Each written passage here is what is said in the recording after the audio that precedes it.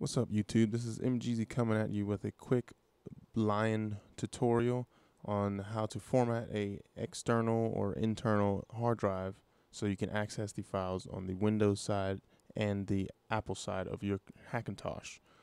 First thing you want to do is open disk utility. Once that's open, you'll see here I have a one terabyte drive. This can be any size hard drive you would like, but I recommend one terabyte and up just to have as much space as possible. You want to click on the main hard drive here, go over to the erase tab, and remember this only works on Lion. Uh, Snow Leopard may be able to read this, but I'm pretty sure it doesn't. It's not allowed to create this uh, type of format. So make sure you're on Lion if you want this to work. Uh, you come down here to the format section and you go to exFAT.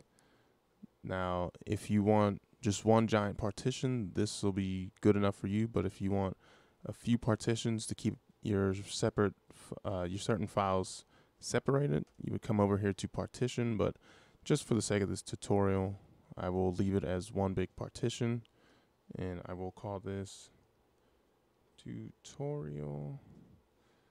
And you hit erase, erase again. It'll take a few seconds. And there you have it. You have the hard drive right here. You double click on it. And it opens up just like any other uh, Mac readable folder.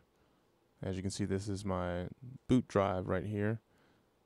But if I open this one called install uh, an entitled this is actually my Windows boot drive it shows up as like a an old style folder without any back buttons or anything. So when you click on a folder, it brings up another one.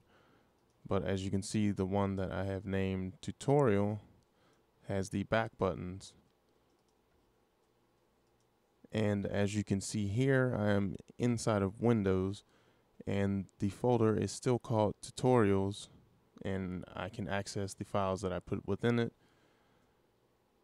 and I can also put stuff in it from Windows and take it out on the Apple side of my computer.